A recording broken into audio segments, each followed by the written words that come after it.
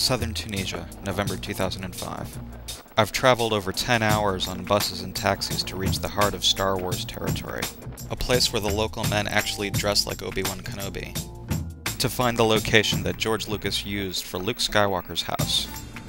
It's here in the Berber village of Matmata, where it gets so hot in the summer that many villagers dig underground to build their homes. The perfect setting for the planet Tatooine and the Lars homestead, Luke Skywalker's childhood home.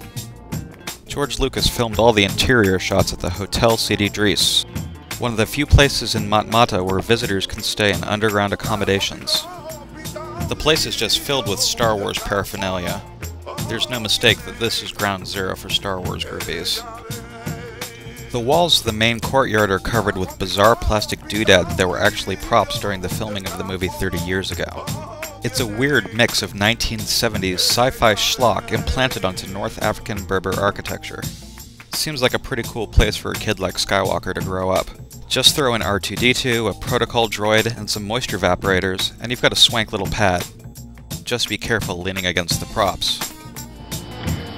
It looks pretty well made, but it's actually quite hollow if you knock it.